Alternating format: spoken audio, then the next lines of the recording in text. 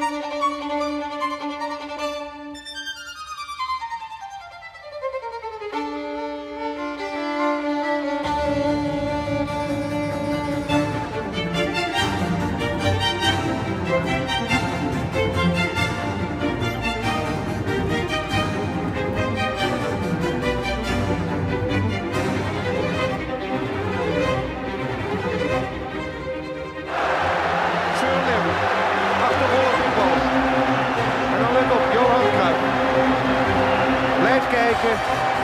Glijdt langs Martin Haar. En dan het overzicht van de grote meester. De geschepte bal. En dit is een juweel, zonder meer. Johan Cruijff. Het bloed zal wat sneller bij hem stromen. Nu al heeft hij aan de verwachtingen beantwoord van goals.